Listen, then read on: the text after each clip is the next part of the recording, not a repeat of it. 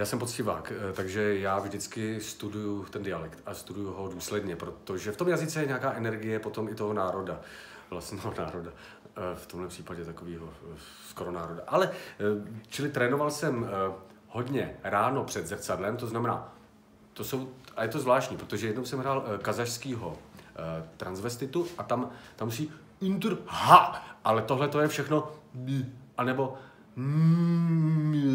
a teď to musí zůstat. Takže eh, já jsem to hodně povoloval. No. To znamená, že nesmíte studenou vodu, je to hodně jakoby v horký vodě, jako, jako předtím vyšarpejovat a pak najednou a pak už jde jenom o to vlastně otevřít ten komunikační kanál, aby to vlastně bylo malý, jako francouzský, ale zároveň to má ble, a že to, že, že to jde potom ven. Takže um, já mám rád to převtělování a moc děkuji klukům, že mi dali tuhle příležitost.